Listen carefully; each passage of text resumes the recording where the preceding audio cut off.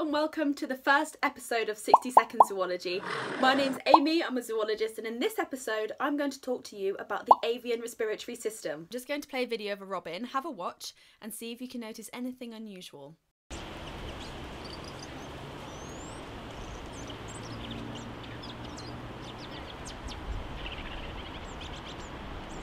No, your ears don't deceive you. This robin is actually singing, but it's throat singing, a technique used by young birds to practice their full song at a much lower volume. When properly singing, birds are able to alter their breathing to make sure that they don't run out of air. Birds have specially adapted lungs which increase the efficiency of oxygen transfer by providing a bellow-like system of airflow. Multiple air sacs increase the opportunity for oxygen to pass into the blood, allowing more time between breaths.